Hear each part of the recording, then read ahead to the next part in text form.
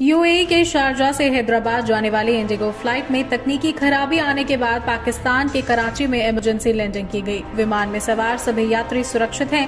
वहीं Indigo airlines ने घटना की जानकारी देते हुए बताया कि पायलट द्वारा विमान में तकनीकी खराबी देखे जाने के बाद एहतियात के तौर पर विमान को पाकिस्तान के कराची की ओर मोड़ दिया गया। यात्रियों को हैदराबाद ले जाने के लिए कराची के लिए एक अतिरिक्त उड़ान भेजी जा रही है। बता दें कि दो सप्ताह में कराची में उतरने वाली ये दूसरी भारतीय एयरलाइन है।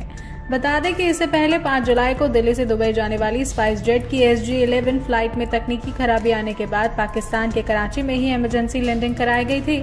वहीं इससे पहले 14 जुलाई की शाम को दिल्ली से वडोदरा जा रही इंडिगो फ़्लाइट की जयपुर में इमरजेंसी लैंडिंग कराई गई थी। बताया गया था कि विमान में कुछ तकनीकी खराबी आ गई थी, जिसके बाद एहतियात के तौर पर इसकी आपात लैंडिंग कराई गई। गौरतलब है कि पिछले कुछ दिनों में भारत में कई फ्लाइट्स को आपात तौर पर उतारे जाने की खबरें आ चुकी हैं। वीडियो को लाइक करें, शेयर करें और चैनल को सब्सक्राइब करें। खबरों के नोटिफिकेशन के लिए बेल आइकन दबाना न भूलें।